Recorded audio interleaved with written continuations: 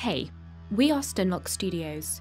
In this video, we're showcasing the possibilities of virtual reality in our upcoming multiplayer game Battlerite. If you like Dota 2's virtual reality mode, you should definitely keep watching. In case you're unfamiliar, Battlerite is a PvP team arena brawler that is the spiritual successor to the critically acclaimed Bloodline Champions. This is a clip from the official Battlerite gameplay trailer, which we made using virtual reality. So how exactly did we do it? Here's that clip one more time. This is Tobias, our virtual reality lead.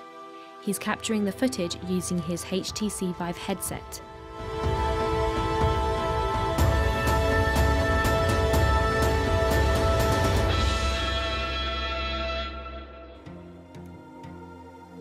Our virtual reality observer mode is a new way to spectate games. Here you can watch a live Battlerite game in your virtual reality headset. We've implemented intuitive controls so that you can position the view however you wish. Move the arena around with one hand.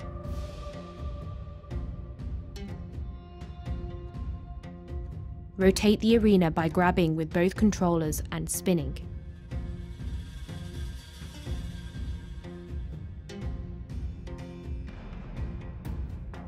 Zoom in by stretching the controllers apart.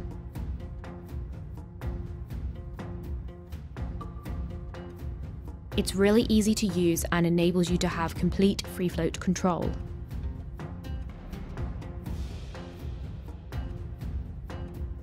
The Battlerite Arena is the perfect size for virtual reality and looks beautiful from every angle.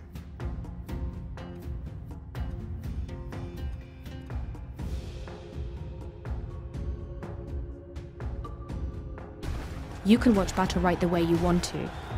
You can even be a part of the crowd.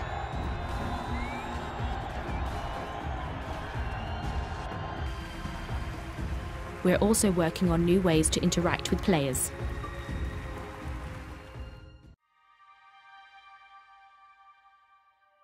The camera tool enables you to record footage of the digital Battlerite world like a director of your own movie.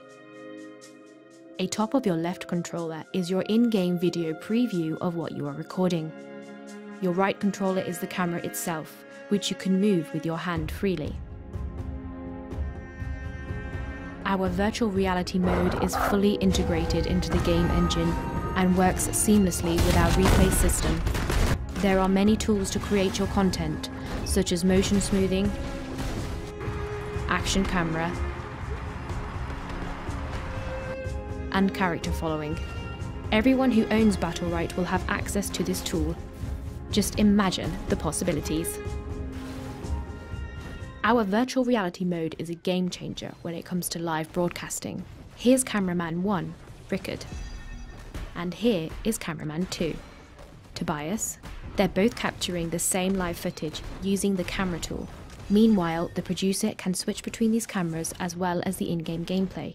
The results of switching between virtual reality and in-game shots speak for itself.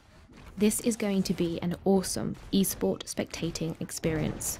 So, if you thought Dota 2's virtual reality mode was cool, I hope you're excited about Battlerite.